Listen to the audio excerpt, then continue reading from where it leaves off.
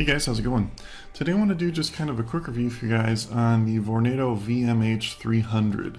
This is a whole room uh, full metal heater uh, that works really good and I really like this thing a lot. I hadn't seen too many reviews on it, so I thought I'd kind of give you guys my two cents based on my experience and let you know what I thought about it.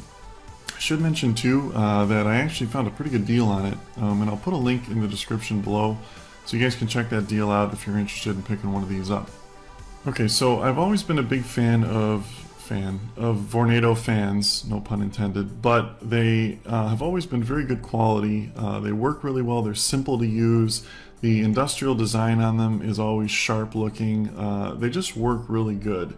They don't buffet very much uh, when they blow, and they're just great fans all around. So when I had seen that they made a heater, I was pretty interested. Um, anyway, long story short, I absolutely love this thing. It works great. Um, I wouldn't say that this is for a huge, huge room, although it has two settings. It has basically kind of a low and a high.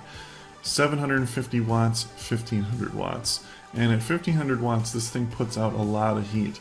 This can do a pretty dang large sized room. Um, a great room, something like that, um, no problem at all. It'll it'll definitely keep the room very very warm. One thing I like about this one too is it has an automatic thermostat on it. Um, now it isn't marked uh, with actual temperatures, it's not quite that advanced, but you can kind of figure out what's comfortable and adjust it based on that, and it'll automatically turn on and off uh, to keep the room that temperature.